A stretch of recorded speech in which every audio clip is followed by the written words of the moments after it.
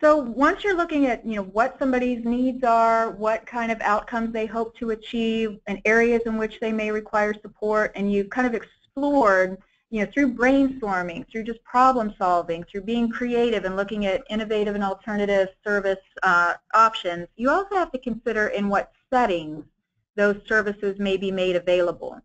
It's really important to point out that in this rule and in the CMS regulation as well, that individuals must be afforded the opportunity to receive services in non-disability specific settings.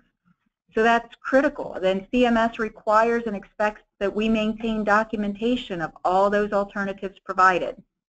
So if, if we saw, we walked into a county board and determined that 80% of the population receiving waiver services in that particular county attended facility-based day services and were served in group home-like settings, we and or CMS would certainly look to see what alternatives were offered to those individuals.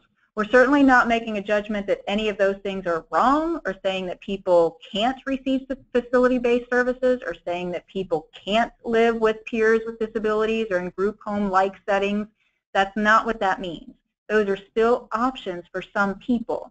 But what we have to focus on is making sure they hear the broad array of options. So what else were they offered? Were they offered the ability to stay in their family home? Were they offered the ability to live on their own? Were they offered the ability to live with a friend that they have chosen in an apartment building or other place? So we just have to be thinking about things much more broadly and thinking about setting options kind of the way we think about our own lives. I mean, most of us did not leave our parents' homes expecting to live with another adult peer that we were not in a relationship with for the rest of our lives. I mean, that's, that's kind of a non-traditional um, living arrangement.